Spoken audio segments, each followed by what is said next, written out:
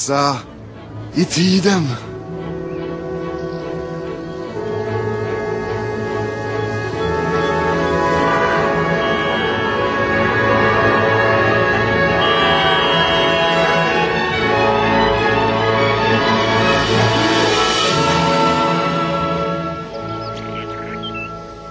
Aten 399 f.Kr. Rättegången mot Sokrates. Här kommer han, Sokrates. Och här har vi åklagarna. Nikon, Meletos, Anitos. Ja, här är en massa människor på väg in till rätten där Meletos strax ska läsa upp anklagelsen. Vi går in. Och Andres Athinei. Sokrates Sadiki. Eh, Sokrates är beskylld för att införa nya gudar och föra ungdomar på villovägar. Unomison, etera demonia kena. Sofie, nu ska Sokrates försvara sig. ότι μεν εμείς ο άντρες Αθηναίοι πεπόντατε υπό τον ημών. Han irriterar en massa människor här i Aten. För i flera år så har Sokrates gått runt och ställt kritiska frågor till hög och låg. Och han har fått en hel rad, det räcker med discipler. Och nu är det några då som tycker att det har gått för långt. των πολλών, όν εψεύσαν, τούτο ενώ έλεγον ως πριν ημάς ευλαβήστε, μη υπεμβούν. Sofie! Platon! Platon! Där borta! Platon kommer att betyda mycket för filosofins historia. alltså, han, han är inte särskilt rädd av sig. Vilken man! ου μεν τη μαδία ο άντρες Αθηναίοι, και καλλιεπιμένους και λόγους ακούσεστε. Ρήμανσιτε και ονόμαστε, ουδέ και κοσμημένους. Vad är det? Ja, förlåt. Visst Sofie. Jo, eh, Sokrates har gått runt och pratat. För han vill få folk att tänka själva. Om de kan lockas att tänka igenom konsekvenserna av sina egna påståenden så tvingas de att genomskåda sig själva. Alltså han är så smart, han är så modig! Estamos voltando com o programa Filosofando. Podemos dizer que a Bíblia é a grande síntese dos esforços da antiguidade em direção ao espírito. Não é de admirar que se apresente muitas vezes assustadora, contraditória para o homem moderno. O Evangelho é a codificação da segunda revelação cristã, a que brilha no centro da tríade dessas revelações, tendo na figura do Cristo o sol que ilumina as duas outras, que lança a sua luz sobre o passado e o futuro, estabelecendo entre ambos a conexão necessária. Mas, assim como na Bíblia já se anunciava o Evangelho, também neste aparecia a predição de um novo código, o do Espírito da Verdade, como se vê em João, capítulo 14. E o novo código surgiu pelas mãos de Allan Kardec, sob a orientação do Espírito da Verdade, no momento exato em que o mundo se preparava para entrar numa fase superior do seu desenvolvimento. Cada fase da evolução humana se encerra com uma síntese conceptual de todas as suas realizações.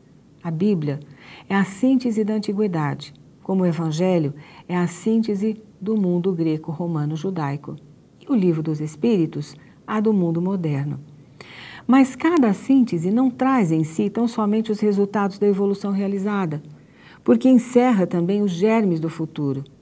E na síntese evangélica, temos de considerar, sobretudo, a presença de Jesus, como uma intervenção direta do alto para a reorientação do pensamento terreno.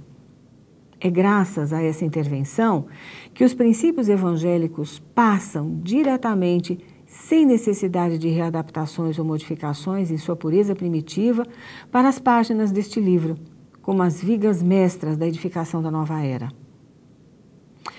Na história do pensamento ocidental, a filosofia nasce na Grécia por volta do século VI a.C. Surge por meio de um longo processo histórico, promovendo a passagem do saber mítico ao pensamento racional. O que caracteriza, portanto, a origem da filosofia, o aparecimento do espírito filosófico enquanto tal, é a passagem das explicações a partir do sobrenatural para as explicações racionais ou humanas. Os primeiros filósofos, assim como os poetas Homero e Hesíodo, buscam uma explicação para a relação entre o caos e a ordem do mundo. O que muda é a maneira de entender esta relação. Enquanto o poeta vê os deuses como os responsáveis por tudo que existe e acontece, os antigos pensadores preferem partir das formas da natureza, terra, água, ar, para entender a vida. A partir de então, uma sucessão de pensadores originais como Tales, Xenófanes, Pitágoras, Heráclito, Protágoras empenhou-se em responder racionalmente questões acerca da realidade última das coisas, das origens e características do verdadeiro conhecimento, da objetividade dos valores morais, da existência e natureza de Deus ou dos deuses. Muitas das questões levantadas por esses antigos pensadores são ainda temas importantes da filosofia contemporânea. Durante as, as, idades antiga e medieval, a filosofia compreendia praticamente todas as áreas de investigação teórica. Em seu escopo figuravam desde disciplinas altamente abstratas, em que se estudavam o ser enquanto ser, e os princípios gerais do raciocínio, até pesquisas sobre fenômenos mais específicos, como a queda dos corpos e a classificação dos seres vivos. Especialmente a partir do século XVII, vários ramos do conhecimento começam a se desvencilhar da filosofia e se constituir em ciência independente, com técnicas e métodos próprios, priorizando, sobretudo, a observação e a experimentação. Apesar disso, a filosofia atual ainda pode ser vista como uma disciplina que trata de questões gerais e abstratas que sejam relevantes para a fundamentação das demais ciências particulares ou demais atividades culturais. A princípio, tais questões não poderiam ser convenientemente tratadas por métodos científicos.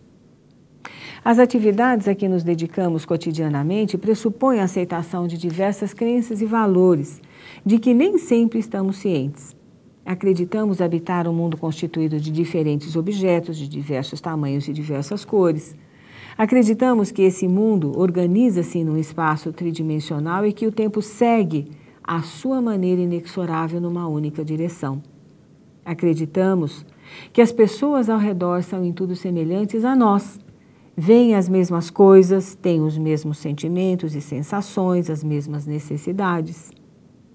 Buscamos interagir com outras pessoas e encontrar alguém com quem compartilhar a vida e talvez constituir família, pois tudo nos leva a crer que essa é uma das condições para a nossa felicidade. Vamos para o pequeno intervalo, mas já voltamos. Música